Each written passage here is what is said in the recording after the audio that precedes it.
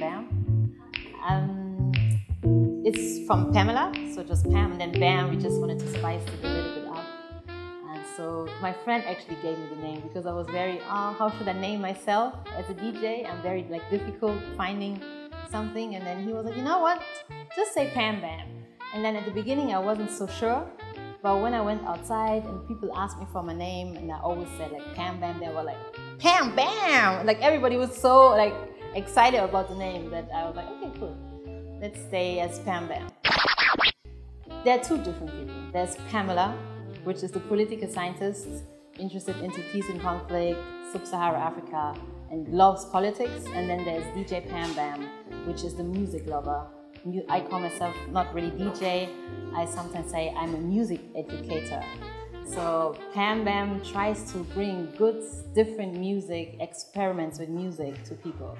But also I'm trying to kind of educate with when I started, I started with hip hop, with black music, but I looked into the old days. I looked, I looked into the 60s, into the 70s, how hip hop started, where were the roots of black music. So Pam Bam is, yeah, she's a music lover. She listens a lot to music. Music makes her happy.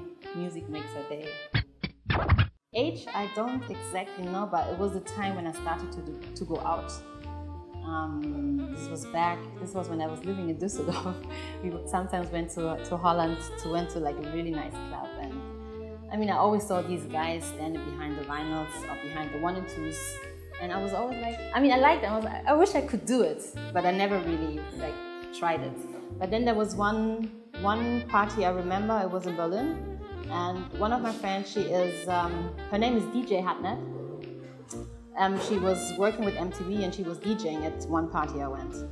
And she totally played the music a lot. I mean, she really, she felt me. So whenever she was playing, like all of my girls, we, we went crazy. So that was the moment when I thought, hmm, actually, it's possible as a girl also to be a DJ and actually to be good.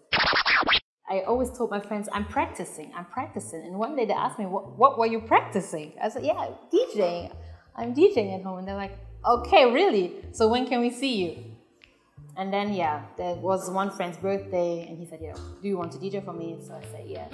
And that was the first moment. And I remember the evening, like, I mean, all of my friends remember this moment because it was like one hour before the party. I said, no, I, I can't do it. I don't feel the music. And they were like, what? She's saying she can't feel the music. So all my friends were calling me. I was still at home, like, she can't feel the music. What are we gonna do? And then they called me and said like, you know, just come here, bring your music, bring your equipment, and we just see how it goes. So I went to the party and uh, people were expecting me, so I couldn't say no anymore. and that's when I had my first like public kind of private birthday gig and it went very well. I think being a female DJ in Ghana is, has also very plus because people remember me easily. Like a lot of people just know Pam Bam and it's they say I think it's mostly when I play like old school hip hop. That's when people actually come up to me and say, "You play this kind of music? Wow!" I remember the first time when I was DJing at Republic Bar, when I put up my equipment and I saw the people looking at me. What is she doing? What is she doing? And you could see in their faces. But when I DJed the first night, after like 30 minutes, I saw people watching again. Is it really her? Is it really the same person? And that's when I realized, okay, actually I'm doing a good job. I grew up in Germany and you, you still always have the view of Africa as a place where, where you maybe not make so much money.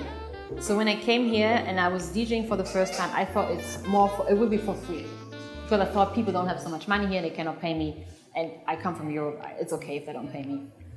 But the interesting thing is when I was DJing the first time, for Fashionista Africa, uh, for Fashionista Ghana, um, without even asking, they gave, they paid me. So I was like, wow, people just, people just paid me. And then my second gig too, they just paid me without me even asking. I was like, oh, I can do it for free. No, no, we pay you. And that's the moment when I was like, whoa, actually, I can, I can make money here, you know. But it was never for me about the money. It was also to have the chance to DJ, and because at the beginning I was not so confident and, and I needed a place but it actually turned out to be something that can can I can make a living with it. You can make a living with it. I came influenced by Afro House. At the beginning, I know Ghana is not the place for house. I did Afro House. I mixed it with Afro beats. I mixed it with hip hop. It worked. People loved it. So you have to also take a step and try and don't be afraid to do something different than other people do. She's writing in finance, um, but also working in, in peace and conflict with the Kofi Annan Center. So me myself, I read a lot. I uh, I read a lot of news. I watch a lot of news. I like to talk a lot about African politics.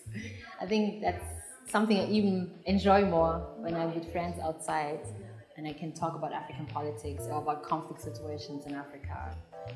That's that's a lot what I do. And also I like to go to markets, buy materials, do African print dresses. Also something good eating.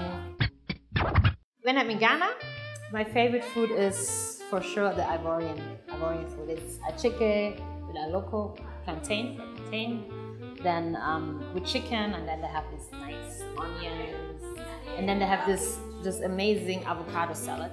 And when I go there, um, I, I just never want to stop. It's like I eat it and I'm like, oh my goodness. Hello, my name is Pamela, aka DJ Pam Bam and I'm a change now. So, hello, my name is Pamela, aka DJ Pam Bam, and I'm a game changer.